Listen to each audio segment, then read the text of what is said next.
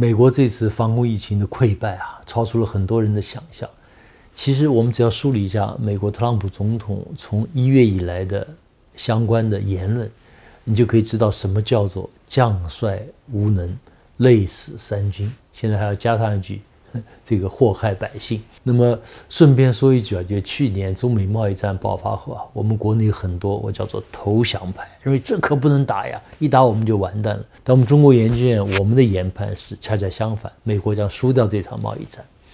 我当时讲的观点可以概括为三句话：一句话叫做“搬起石头砸自己的脚”，第二句话叫做“将帅无能累死三军”，第三句是你打你的，我打我的。我们后来做这就中国吧的观点，我也做了一个介绍。当时对中美贸易战的判断，完全可以用到对美国这次疫情防控的判断。开始的时候，美国对中国的疫情的幸灾乐祸，落井下石。结果我们看到是搬起石头砸自己的脚。中国这么好的经验，他们放着不用。那么关于将帅无能累死三军，我当时是。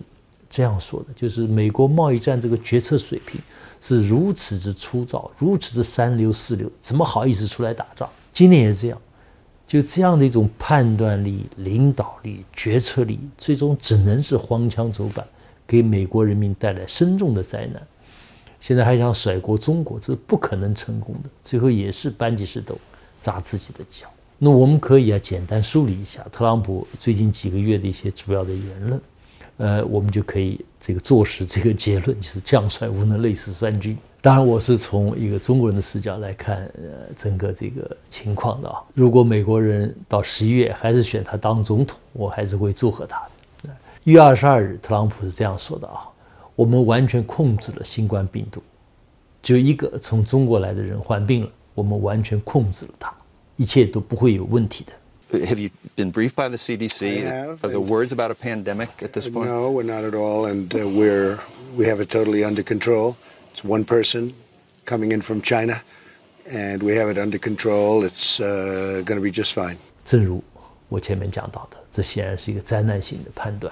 哎，二月十号他又说了，很多人认为随着高温的到来，这种病毒会在四月份消失。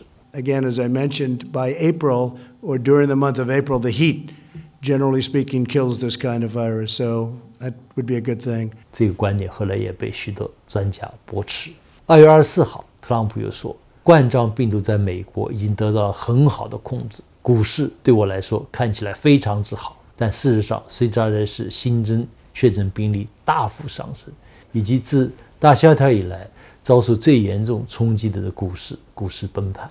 那么顺便说一句啊，就在特朗普讲这番话的同一天，我们这就是中国这个节目啊，呃，专门分析了就是当年美国应对2009年 H1N1 失败的情况。我当然提出这么一个问题，我说如果美国不能从自己当年应对 H1N1 失败中汲取教训，真不知道美国遇到一场致死率更高的传染性疾病或者更大的自然灾害。将以怎样的结局收场？看来也是不幸而严重。坦率讲，哪怕美国从二月二十四号、二月二十五号开始认真进行防控，美国的疫情也不会落到今天这种惨况。当然，美国人不像中国人，中国人听到别人的批评会立刻反思自己是不是有些什么地方做错了。美国政府连自己专家的意见都置若罔闻。不久前，《纽约时报》刊发了一个长篇报道，标题是。特朗普为何忽视警告，一错再错？他其中提到，就这段关键时期，二月的最后一周，政府的公共卫生团队已经清楚地意识到，必须关闭病毒热点地区的学校和企业。二月二十五号，这特朗普登上空军一号从印度返回美国时，美国免疫和呼吸道疾病中心主任南希·梅索尼耶向。公众发出了他们一致认为有必要的一个直率的警告，但在飞回美国的十八个小时飞行的途中，特朗普看到了这个专家的警告，导致了股市崩盘，让他怒不可遏。呃，二月二十六号，他又做出一个完全错误的预测，他说，十五个美国病例将会在几天之内下降到接近零，我们的病例数量正在大幅下降，而不是上升。And again, when you have fifteen people. And the 15 within a couple of days is going to be down to close to zero. Uh, that's a pretty good job we've done. 事实上，正如后来我们都看到那样，美国每天新增的这个冠状病毒的病例数量急剧上升，就从那个时候开始的，已经是中国最严重时期的许多倍了。二月二十八号的时候，特朗普又说，现在民主党正在把冠状病毒政治化，这就是他们去通俄门调查之后的又一个骗局，英文叫 hoax 啊。And this is their new hoax. But you know, we did something that's been pretty amazing. We're 15 people in this massive country.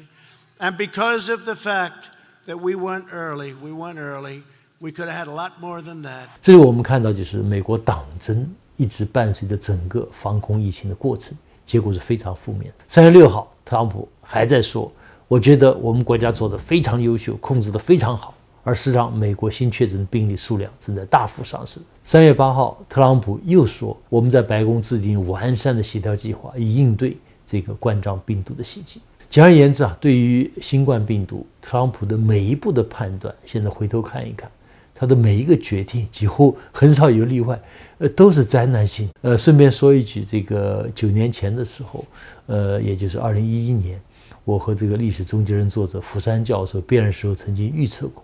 我说，我美国这个政治制度不进行必要的改革的话，可能会选出一个比小布什还要差劲的总统，这也算是这个不幸而严重啊。